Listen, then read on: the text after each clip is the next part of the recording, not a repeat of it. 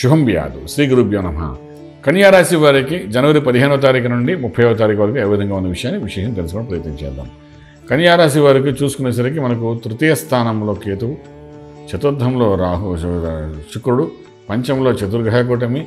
అలాగే మనం చూసుకుంటే కన్యా వారికి అష్టంలో కుజుడు భాగ్యంలో రాహు కనిపిస్తున్నాడు అష్టమగుజుడు కుజుడు ఉన్నాడు కాబట్టి అష్టమాధిపతి అష్టమ స్థానం పొందడం రాజయోగం కాబట్టి మనం భయపడక్కలేదు అష్టమ స్థానం బలంగా ఉంది.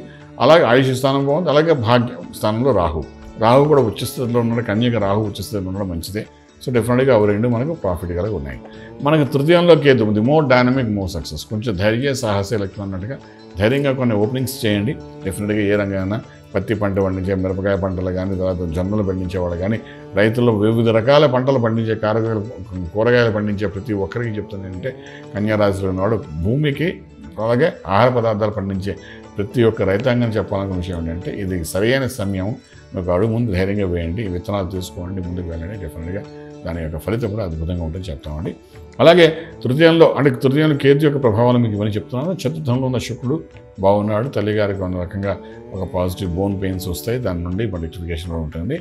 పంచములు పిల్లల ద్వారా కొంచెం చిరాకులు పరాకులు పెరుగుతాయి కాబట్టి వీలైనంత వరకు పిల్లలు తీసుకున్న నిర్ణయాన్ని సమర్థించడం ప్రయత్నించకండి. ఒకటి రెండుసార్లు మీరు ఆలోచించి జన్యున కాదు చూసుకున్నప్పుడు సమర్థించండి ఈ విషయం. లేకపోతే కొంత రాంగ్ డైరెక్షన్ వెళ్ళే అవకాశం ఉంటే నష్టపోయే అవకాశం ఆర్థికంగా ఉండే అవకాశం కొంచెం జాగ్రత్త తీసుకోండి. అలాగే అష్టంలో ఉన్న కుజుడు యోగించిస్తాడు భాగ్యంలో ఉన్న రాహు కూడా యోగిస్తాడు కూడా మనం భయపడకండి పూర్వాశ్రమంలో ఏడాది క్రితం మనకి ఏమైనా అనుకున్న ప్లాన్స్ మళ్ళీ రిబోకి మళ్ళీ స్టార్ట్ చేయాల్సిన అవసరం పడుతుంది. అటువంటి కూడా ముందుకెళ్ళచ్చు. అలాగే ఏడాది క్రితం వచ్చిన సంబంధం పెళ్ళి సంబంధం అది ఎప్పుడో అప్పుడు అందరూ మర్చిపోయారు. మళ్ళీ అది తిరిగి రావచ్చు. వచ్చినప్పుడు అది మళ్ళీ రీసెట్ అవ్వచ్చు. ఇటువంటివన్నీ అవకాశాలు బాగా కనబడుతున్నాయి. ఏదైనా గురువు యొక్క అనుగ్రహం ఉంది కాబట్టి కొంత నష్టం నుండి ఒక యోగాన్ని తీసుకొస్తాడు.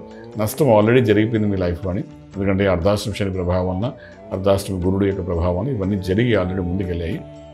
ఇప్పుడు అందులో నుండి కొంత లాభాన్ని తీయడానికి ప్రయత్నం చేస్తారు కాబట్టి మళ్ళా పూర్వ మిత్రులు మళ్ళా వచ్చారు శత్రువులు అయ్యి మళ్ళీ మిత్రుల మన దగ్గరికి వస్తే మనం ఏం బాధపడక్కర్లేదు. వాళ్ళ మిత్రత్వంలో తీసుకోవడం ప్రయత్నించండి. వ్యాపారాన్ని డెవలప్ చేయడం ప్రయత్నించండి.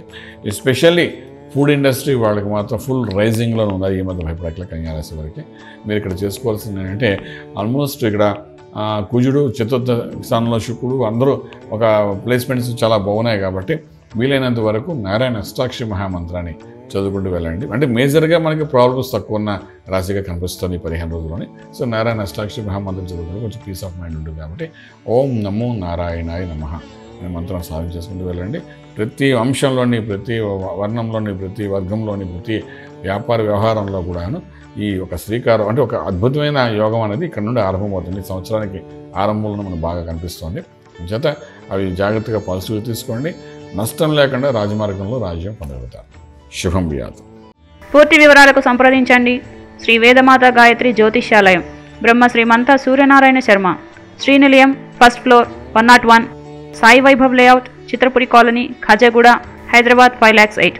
సంప్రదించవలసిన phone numbers triple eight triple five nine one four seven triple eight triple five nine one four eight nine eight four triple nine six triple four.